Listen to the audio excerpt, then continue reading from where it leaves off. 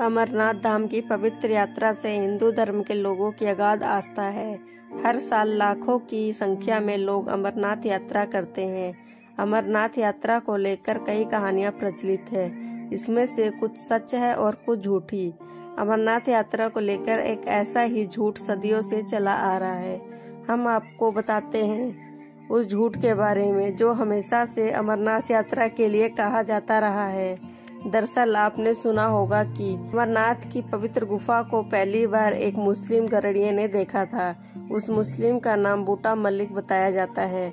इस कहानी को बताने वाले लोग कहते हैं कि मुस्लिम गरड़िए ने 1850 में भगवान शिव का हिमलिंग देखा था। मुस्लिम गरड़िए ने ये बात आकर लोगों को बताई और इसके बाद से ही अमरनाथ यात्रा की शुरुआत हुई। दुर्भाग्य की बात यह है कि लोग इस गरड़िए की कहानी को सच मानते आ रहे हैं, लेकिन यह एक कोरा झूठ है।